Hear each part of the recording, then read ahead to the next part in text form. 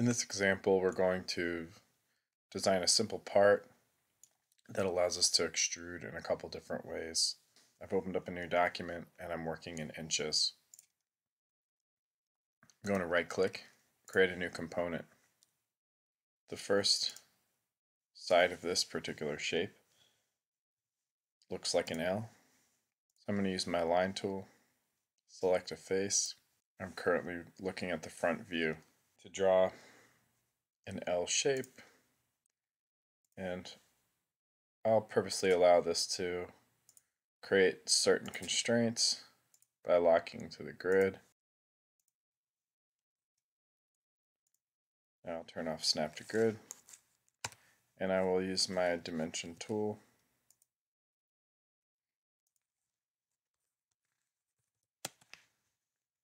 Two point five three quarters.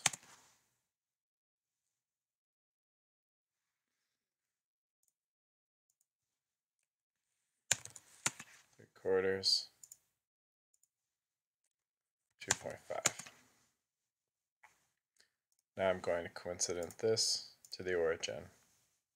This is fully constrained. From here I can use my extrude or E on the keyboard I'm going to select this closed loop and I'm going to extrude this two and a half inches. So I selected a profile. It's going in one direction, so it's starting here and moving out for a full dimension.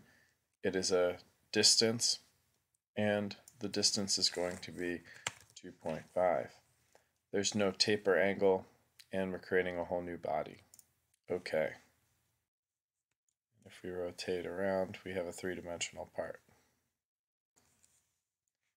A similar shape on this top face, so I'm selecting this face as my work plane. I'll make it easy on myself and snap, snap, and I will close that loop. Using my dimension key,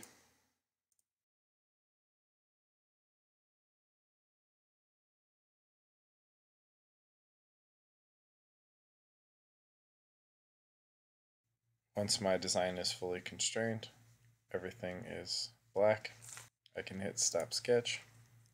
And again, I'm going to extrude this. I'll select my face, closed loop, and I'm going to extrude that the same distance, 2.5.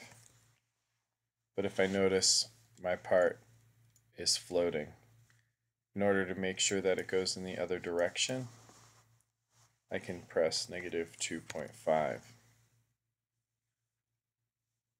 and that will join the two solid bodies together. I'll hit OK and now I have the major portion of my shape. Let's create a hole. So I'm going to use center diameter circle or C and I'm going to draw it on this face. The hole itself is 0.75. I'll enter that. And I will select the D on my keyboard again. And I'll use the center to this line.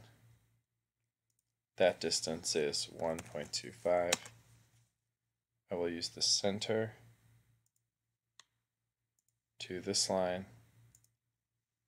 And that distance is 0.75. Now, placed my circle, it's fully constrained. I will stop sketch. Now I'm going to extrude again, select my circle, closed loop, and I'm going to change a little bit about this extrude to make sure. I still want a profile plane, I still want to go in one direction, but now I'd like to go all the way through the part. So if I ever change a dimension of my part, I still know that the hole is going all the way through. It's going backwards, so I'm going to use the flip tool.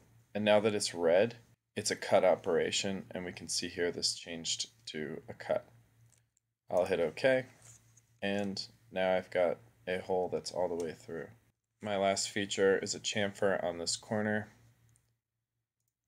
I will draw a line on this face. I'll draw a line from this to here. Again, I'll use my D and I'm going to select this and this and I'm going to make sure that's at 45. And I also want to make sure from here to here is one inch. And that should constrain. I'm going to stop my sketch. I'm going to extrude this triangle. And the next operation for extent is to object. I want to cut away portion of this and we can see on the actual example it does not go through. So when I cut this away, if I select all, flip my direction, it'll cut through the whole part. I don't want that. Instead, I'll select to object, and now it's looking for a stopping face, and I'll click this face. And now it's just cutting that portion. Again, it's a cut operation. I'll hit OK, and I've completed my first part. Save.